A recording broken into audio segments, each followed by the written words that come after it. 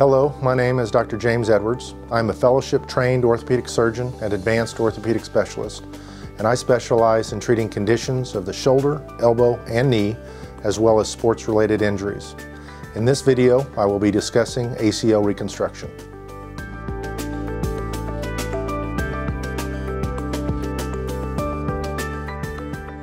The anterior cruciate ligament, or ACL, is one of the four major stabilizing ligaments of the knee joint.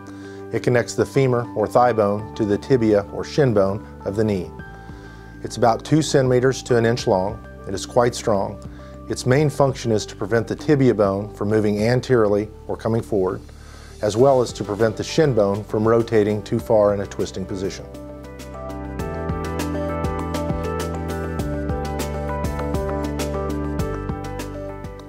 ACL injuries can occur in a variety of ways and usually occur in athletes. An ACL injury may occur because of contact injury where the athlete's knee is hit from the side and twists, resulting in an ACL tear.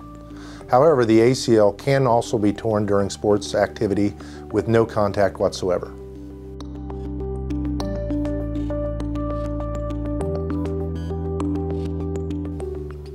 In order to move forward with the reconstructive surgery, your swelling must be reduced and your range of motion should be fully restored.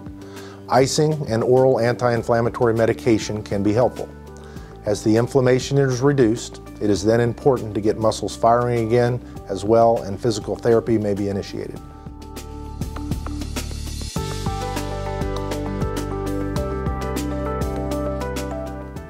ACL reconstruction is a well-tolerated and safe procedure which regularly produces excellent outcomes.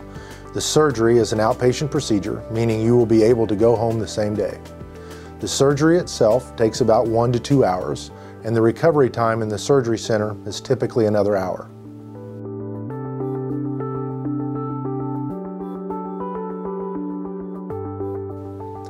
Patients use crutches and a brace for the first few weeks until the incisions are healed and the pain subsides. Most patients will begin home exercises within the first 24 to 48 hours of surgery and then begin formal physical therapy twice a week after about a week or two. Each week after surgery, more weight can be put on the leg and the crutches and brace can be discontinued. Physical therapy will help decrease the swelling, improve range of motion, and increase strength and function of the knee. After about six months, you will be able to return to sports. To learn more about ACL reconstruction, please visit our website. Thank you for choosing Advanced Orthopedic Specialists for your care.